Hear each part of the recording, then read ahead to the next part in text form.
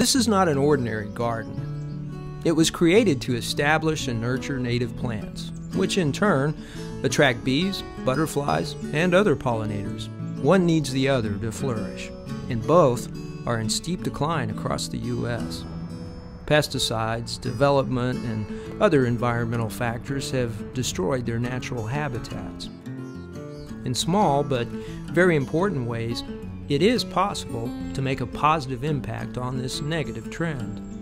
That is the inspiration behind this story. So in order for us to get back in balance, we need to start putting these Texas natives out here in our landscape and help boost our native animals and insects out here. Rose Carrizales and other graduates of Elm Fork Chapter's Texas Master Naturalist program had been working as volunteers at LELA, Lewisville Lake Environmental Learning Area, during their 12 weeks of training, and had developed an idea on how to tell a nature story in an inviting and collaborative way. The location is Lela, a 2,000 acre wildlife conservation area that serves as an outdoor learning center for school children, families, birders, stargazers, and other outdoor enthusiasts. Of 2,000 acres, 1,000 square feet in the entrance to Lela's various trails was chosen as the site. This was a big undertaking. They decided to cross pollinate with other like minded folks to strengthen their efforts. They enlisted Denton County's Master Gardeners, the Texas Native Plant Society, UNT, Boy Scouts, local community volunteers, and of course, Lela. Altogether, they created a community of collaboration to build a pollinator pocket prairie. The seeds were sourced, all genetically pure, from Denton and surrounding counties.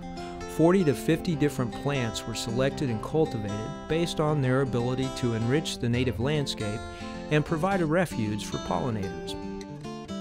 For a solid year of Tuesdays, Thursdays, and Saturdays, 30 to 40 volunteers contributed their time and energy.